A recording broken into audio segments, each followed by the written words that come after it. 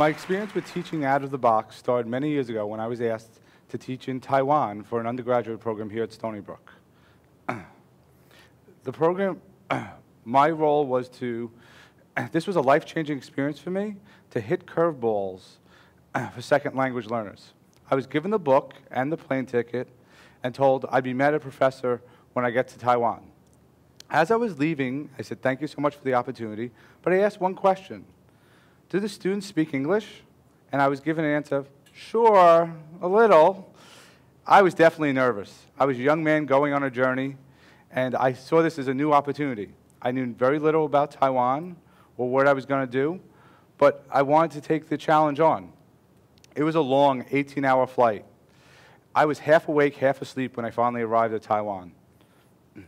I got through customs, and when I got there, it was close to midnight. I walked outside, and there were students hanging up signs, Welcome, Professor Ecker. Thank you for coming. I was in shock. What was this? What was this culture? They were welcoming me at midnight, their time. It was fantastic. The professor was there and took me in his own car to the hotel. Each night, I was teaching from 7 to 10 at night. To, to give you an idea of an American in Taipei, when you walk around, you can't read the street signs, you can't read the store signs, you can't even read the menus. I tried to go into a McDonald's and order. Let me tell you, it was difficult. Each day I was met by a student. She said she would tour me around Taipei, take, take, take me the train and the bus to get there, and then she would make sure I knew where I was going each day. Her name was Tiffany. She had some broken English, but she really tried to, to put herself out. I was in awe. A student really helping me, to helping the professor, that's not usual. That first night, I decided to do something different as my activity. I had them introduce the person sitting next to them to everybody else in the class. As I asked them to do that, I went to the bathroom. On the way to the bathroom, I noticed a professor using an overhead slide projector and reading what was on the slide to their students. As I passed another classroom, a professor had a stack of overhead slides this high and was going through three or four slides a minute. I was like, okay, this is different. When I returned to class, I had them introduce each other. And then I worked through that first night to class. They were shy and quiet, but they seemed to get the material. But I seemed to not make that connection. On the way home, I asked Tiffany, how'd it go? She was very polite, but in her broken English, when she said good, I realized I hadn't made the connection. I hadn't gotten through, hadn't showed them how the American style of teaching was any different than their Taiwan professors just reading their overheads and having them memorize the material back. I got to the hotel at midnight. I was devastated. I flew all the way around the world, and I couldn't show them that this style of teaching was better, that this program was better for them. I was thrown that curveball I never expected. I was the batter standing at the plate and thrown that curveball I never expected. I knew it was in my power to hit the ball out of the park the next night or fail miserably. I stayed up all night and reworked the lectures. The second night, I decided I'd do more listening than talking. So when I went to class, I showed some slide and then asked them, what do you think? Now, they're very used to being polite and quiet, so they're expecting their professor to answer their own question. I found a chair and sat down and just sat there and looked at them and decided to wait and wait and wait. Which seemed like an eternity was only a few minutes.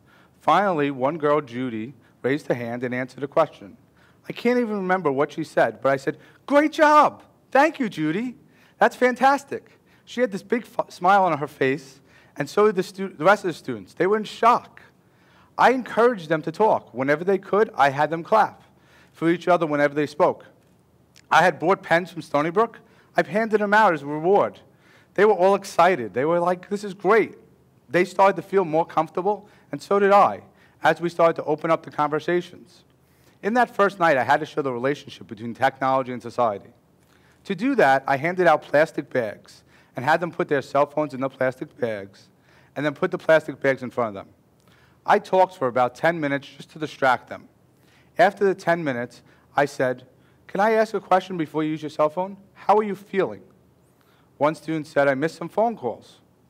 Another student said, You took away a part of me.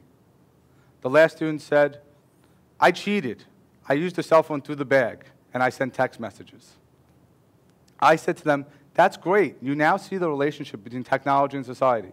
You see that how 20 or 30 years ago, we didn't have technology connected to our belt, but now we do.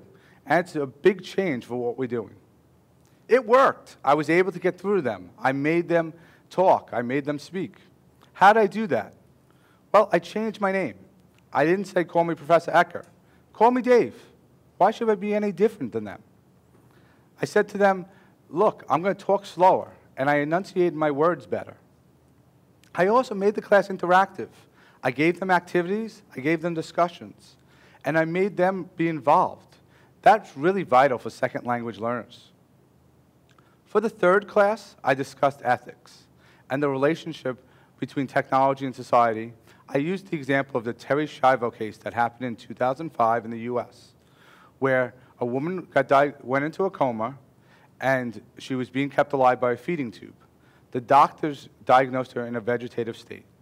Her husband went to the Florida courts to get the feeding tube removed, and he got the approval to get the feeding tube removed, but her parents objected and went to appeal to the US President, George Bush at the time, who signed an executive order to keep her alive and not remove the feeding tube. I said to them, this is a perfect case of an ethical dilemma that you have. And I asked them, if this was your mother, what would you do? I did a poll on the board, but they were in deep thought. You could tell they were trying to figure out what was going on and how this related. I know if it was me and my mom, I would have a difficult time with it. Wouldn't you guys? This class forever changed me. It changed my attitude towards teaching. It changed the way I look at teaching at all. I experienced life, I changed, this experience changed my life for the better. It really made me a better person. We never want to get close to our students, but why not? The students took me out for snacks. I went out to a night market, which is like a flea market with them. It was fantastic. They got to show me their way of living. Why don't we want to get close? I hit the curveball out of the park that night. I thought it was fantastic. I love Taiwan. I love these students. They helped me so much that it was an enriching experience that in future trips, I brought my wife and son so they can experience the culture. These are some of the students, Patty, Tiffany, and Doug. They helped me to get back and forth from the class to and campus. These are some of the other students. One of the things they do in their culture is they believe in gifts. They gave me a gift to say thank you for coming. And this is a picture of them doing that, which was fantastic. This was a life-changing experience for me. And as I continued on life's journey, I continued to take these lessons home today. One of my closest friends, her father's from Italy, and he has a very heavy accent. And most people don't find the time to speak to him and don't think it's worthwhile. I spend the time to talk to him. I get some words, I don't get others. But I really find by encouraging him, he really tries to talk and he really is able to get across. I've learned all kinds of things about Italy, places to eat, and different food. About a year ago, he knew he was going to come and see me. So he bought special figs for me to try. Anybody know anything about me is I don't like to try new food. It's one of those things I don't do. But how do I say no to this man when he brought this? I tried the fig. It wasn't so good, but I loved how it made him feel and the connection we had and we continue to have to this day. If you have a chance to spend time with somebody and give them that extra roll, it's worth it. You'll never forget that curveball you hit out of the park. My life lesson is that I taught the students to speak, and they taught me to listen. Thank you.